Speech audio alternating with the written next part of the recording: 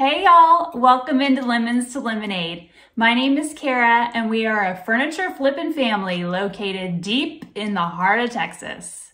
Today we have a very special Veterans Day DIY dresser makeover flip. We've teamed up with the fabulous Sab at Sab's Rehabs. The proceeds from our flip today will be donated to the Wounded Warrior Project. So come along with us to the garage and watch this special flip take shape. It is super cool. I can't wait to show you. Come on, let's go.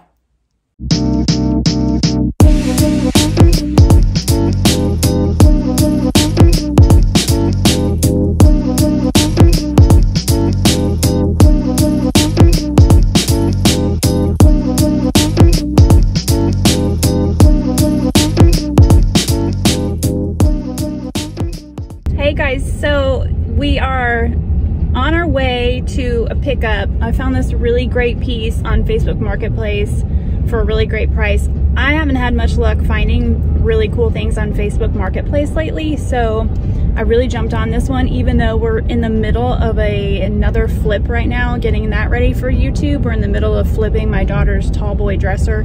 That'll already be completed and up on YouTube by the time you all see this video.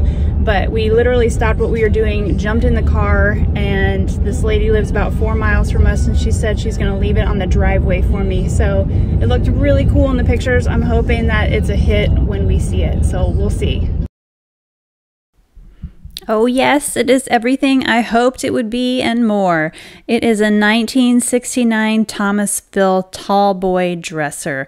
It has six drawers. It doesn't have handles. It opens with these little slots right here, which is pretty cool. I've never seen anything like this, but uh, I've got a really cool design in mind for this guy. I cannot wait to get it home and get started on it.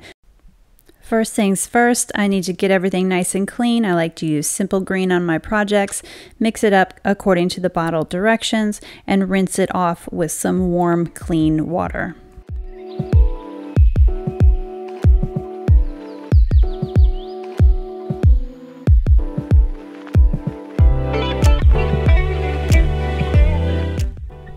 I'm going to go ahead and number all five of these drawers so that when I put it back together, it makes things a lot easier.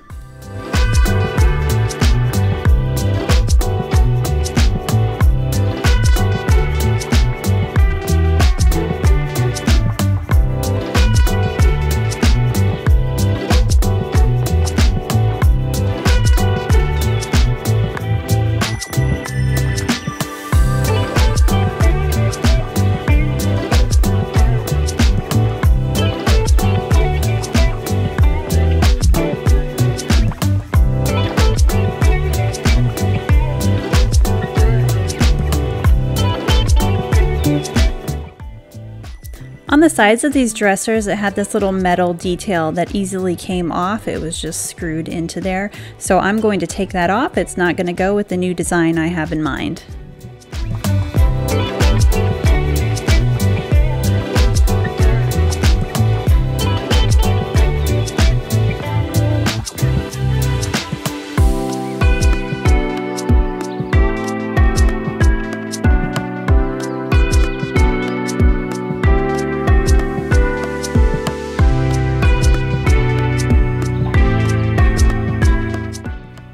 Now that that's off, I need to go ahead and fill the holes with some wood fill from where the screws came out.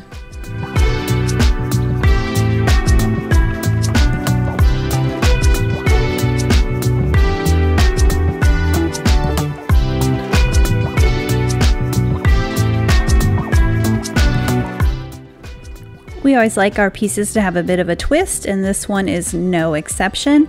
There is a part of this box here that I want to go ahead and take down to bare wood so that I could do some stain and some paint on this dresser. You're going to have to stay tuned to see how this turned out, but this is the first part of the process of getting the piece to look how I envision it.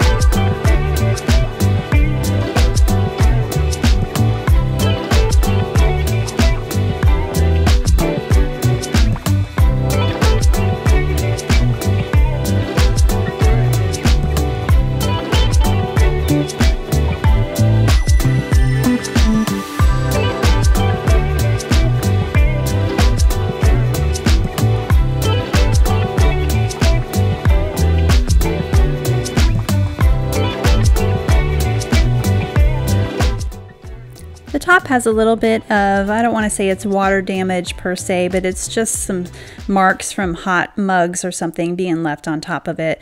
Uh, it doesn't feel like it's uneven or anything. It just needs a really good scuff sand to make sure that everything looks nice and flat when I go ahead and paint this.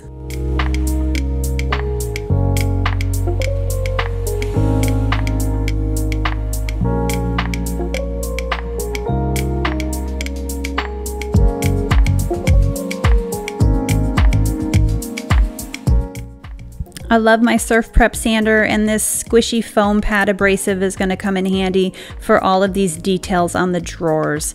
Uh, they don't need any fixing, they're in really great shape, but everything is going to have to get a really good scuff sand so that the chalk paint will adhere.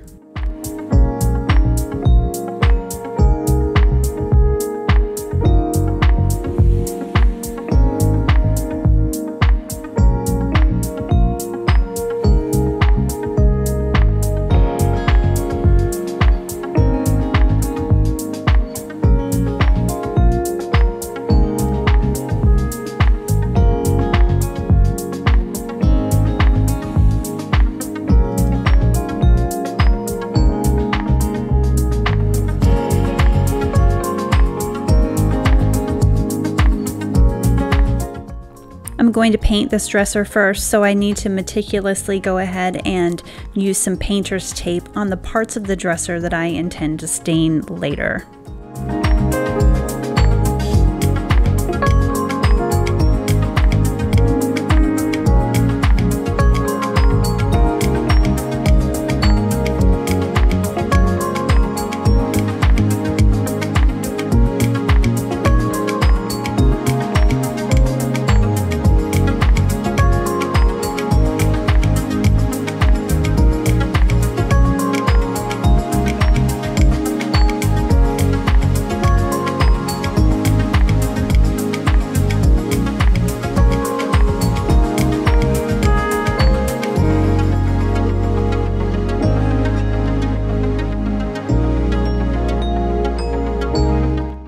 And if you've watched my channel for a while, you know that we love to use Krylon Chalky Finish chalk paint from Sherwin-Williams.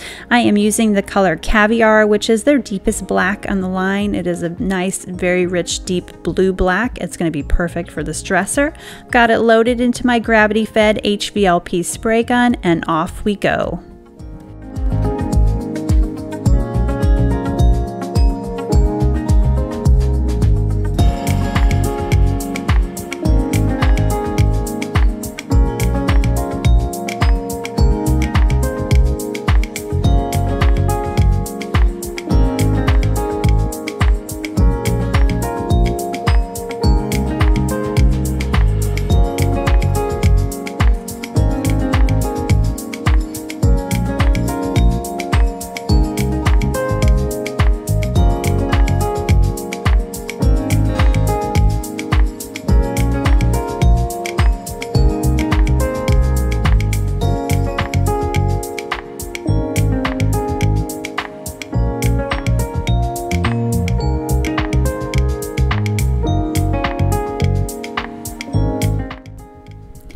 Between coats, I take a 300 grit sandpaper pad and just knock down any uneven finish.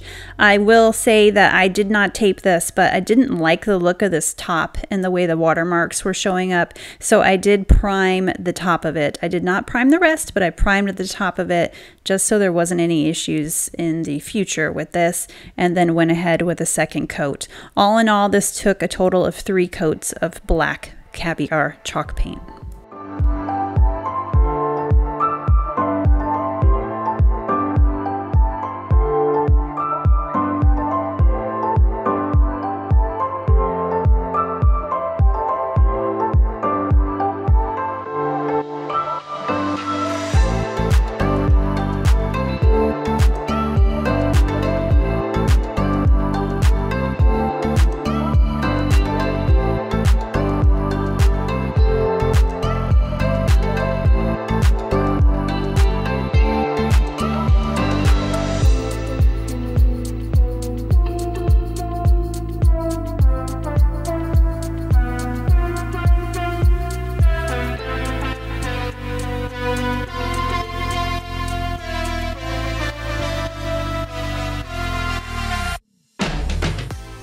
Big thank you to my buddy Emily over at Reconstructing Emily.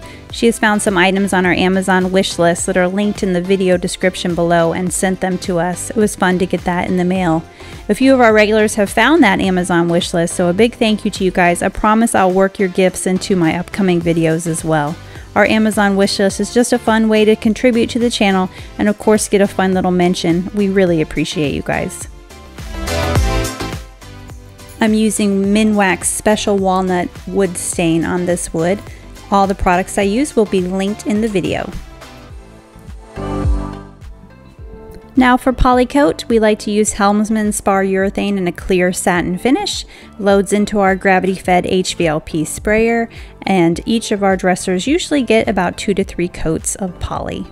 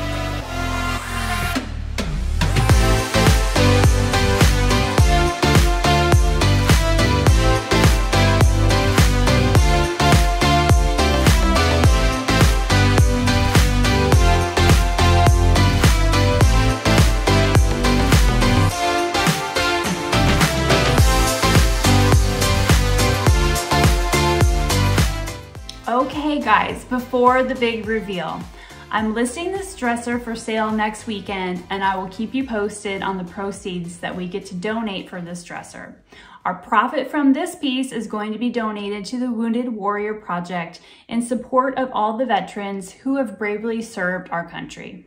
We cannot say thank you enough.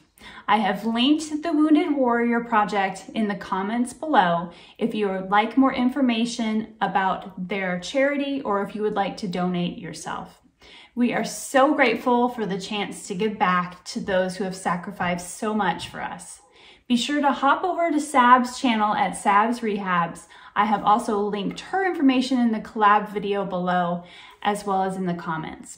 We have some fun changes getting ready to take place on our channel as we prepare to visit the Dave Ramsey show in the next few weeks to talk about our debt-free journey and how flipping furniture became the side hustle that catapulted us out of debt in the midst of my husband's job loss due to COVID. You're not going to want to miss that story. So be sure to like and subscribe so you don't miss a flip. Are you ready to see this DIY dresser take shape? Here we go.